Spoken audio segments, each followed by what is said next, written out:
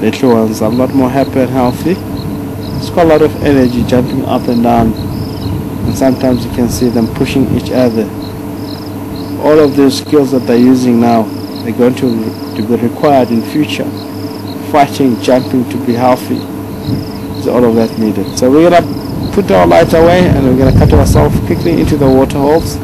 We're going to leave free impala on the spotlight at this moment and we are gonna cut ourselves into the water holes putting the infrared camera and we're ready for the night shot.